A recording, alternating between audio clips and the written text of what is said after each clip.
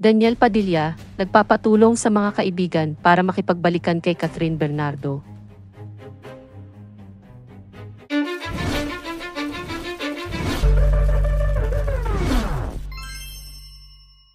Daniel Padilla, nagpapatulong sa mga kaibigan para makipagbalikan kay Catherine Bernardo.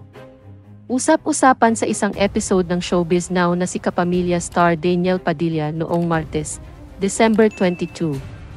Ayon kasi kay showbiz columnist Christy Fermin, may kwento raw na nakarating sa kanila na si Daniel ay nakikiusap daw sa mga common friend nito.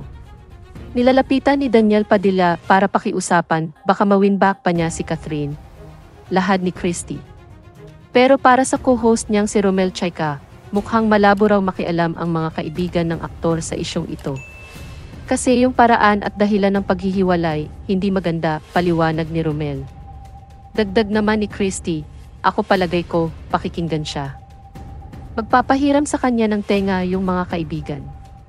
Pero hindi aakto o aksyon para sa kanilang pagbabalikan. Kasi kaya nga magkakaibigan kayo, ialam nila ang tunay na nangyari. Kung ilalagay naman daw ni Wendell Alvarez, isa pang co-host ni Christy, ang sarili kay Catherine, hindi na niya tatanggapin pa si Daniel. Kung ikaw si Catherine, tatanggapin mo pa sa panahong ito si Daniel Padilla. Yusisa ni Christy. Sa panahong ito, baka hindi na. Baka siguro sabihin ko na lang, nakamove na ako. Pwede siguro tayong magkaibigan na lang pero wala na yung relasyon na yun, sabi ng columnist. Matatandaang sa episode ng Showbiz Now na noong December 19, ay napag-usapan din ni na Christy na tila nandidiri na umano si Catherine kay Daniel.